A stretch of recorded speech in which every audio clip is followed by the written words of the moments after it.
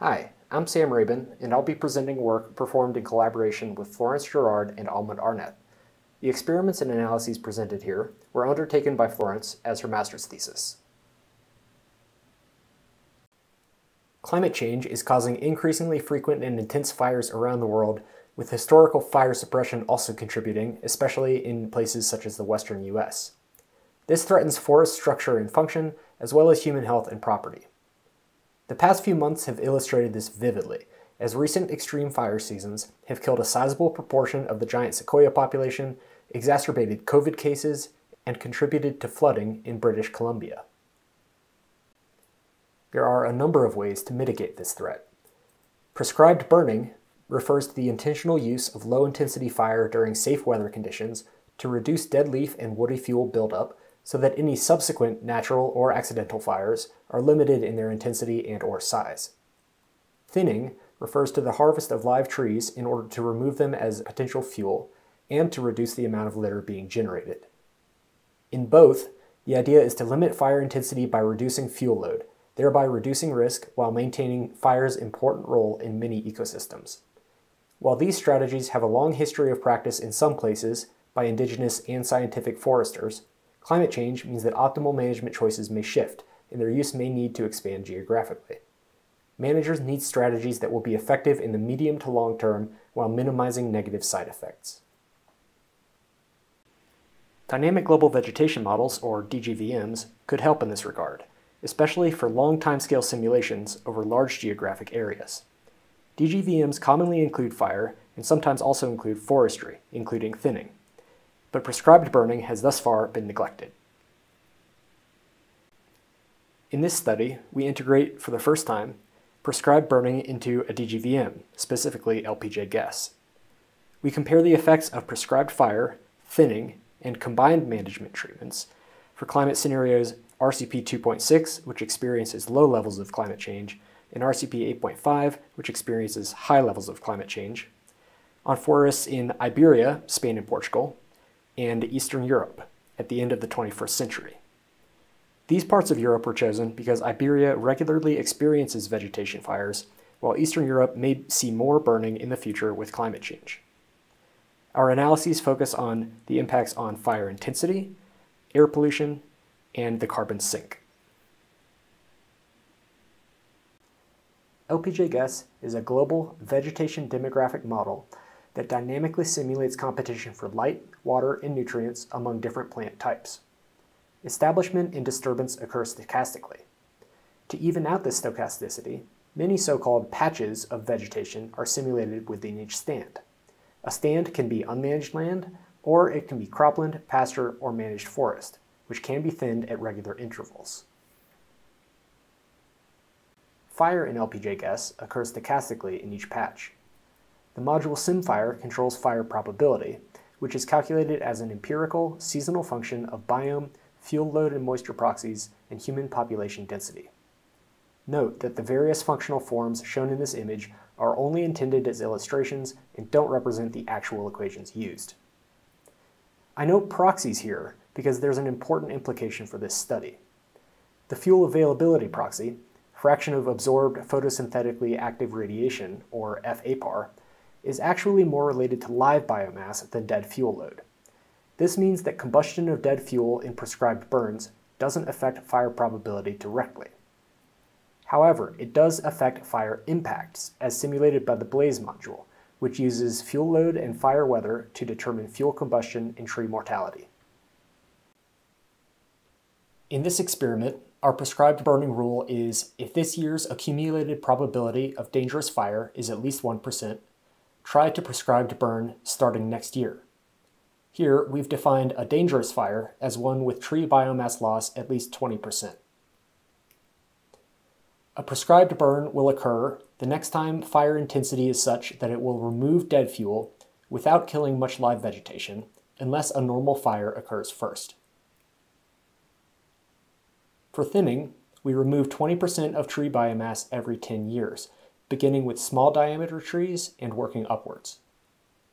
All the thinned biomass is removed from the system so that thinning itself doesn't generate fuel. The simulation is split into a historical period from 1850 to 2014 and a future period, 2015 to 2100.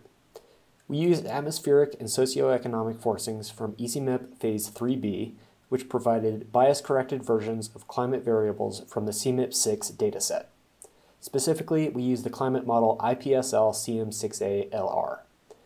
Human population density and nitrogen deposition were held constant after 2014 in order to focus on climate change effects.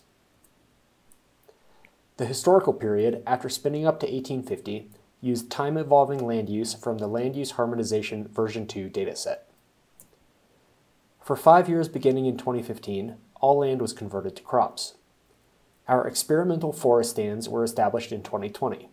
Iberian forests were planted with temperate broadleaf evergreen trees, and Eastern European forests were planted with temperate broadleaf summergreen trees. We'll begin by looking at burned area. Both regions burn more under an extreme climate change scenario than a mild one. In this and the following bar graphs, Iberia is on the left and Eastern Europe is on the right. Note the different y-axis scales. RCP 2.6, the mild climate change scenario, is on the left of each region's graph. RCP 8.5, the extreme scenario, is on the right. Thinning reduces burned area, especially in Iberia. Prescribed burning, on the other hand, greatly increases burned area, even when it's combined with thinning. This is perhaps a surprising result, given that prescribed fire can reduce real-world burned area.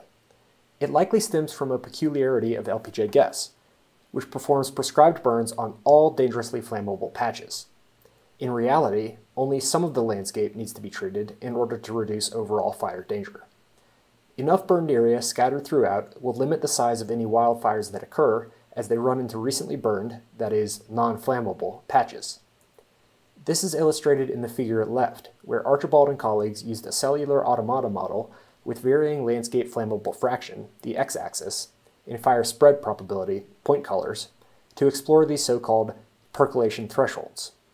As the proportion of the landscape that's flammable decreases from right to left on the x-axis, burned area decreases non-linearly with a threshold type response. This property allows land managers in regions like the Mediterranean to reduce total burned area using prescribed fire. However, implementing this into LPJ-GUESS would require significant redevelopment, as it would require patches to no longer be fully independent of each other.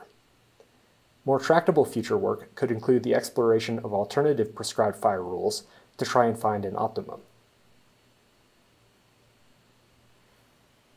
But burned area per se doesn't mean much. What we want to know is the risk posed by the burning, which requires us to look at fire impacts. All fuel management reduces fire intensity, suggesting that what wildfires do occur are easier to control. Therefore, direct risks to people, property, and vulnerable ecosystems could be reduced. Gases, aerosols, and particulates emitted by fires can cause respiratory problems and other quality of life issues in nearby populations. They can also affect weather and climate at local to hemispheric scales. Here, we use fuel combustion as a proxy for overall fire emissions. Prescribed fire enhances emissions while thinning reduces them. However, the same caveat as before applies. LPJ-GUESS simulates a potentially unrealistic increase in burned area due to prescribed fire, so this emissions effect may also not reflect real-world possibilities. Fuel management techniques can also impact climate mitigation goals. Here, we're looking at cumulative net biome productivity, that is, how much the amount of carbon in the land system, including products made from harvested wood, has changed since 2020. Negative values indicate that the land system is a net sink of carbon. Carbon sequestration is reduced much more by thinning than by prescribed burning, except for Iberia in RCP 8.5 where they're comparable. One caveat here is that LPJ-GUESS simulates only 33% of harvested stem wood as going to long-term products such as furniture. The rest is emitted to the atmosphere within a year of harvest. Increasing this long-term product fraction would mitigate the reduction of land sink strength associated with thinning. Here we've described the first implementation of prescribed burning in a DGVM and evaluated its effectiveness in comparison to forest thinning for Iberia and Eastern Europe through the end of the century. Both treatments similarly reduce fire intensity, but have different trade-offs regarding air pollution and carbon sequestration. Future work should explore nuances of these management options to test whether more optimal strategies can be found. In addition, because LPJ-GUESS SimFire Blaze can't account for direct treatment effects on fire probability, it would be useful for other DGVM fire models to implement prescribed burning and perform similar experiments.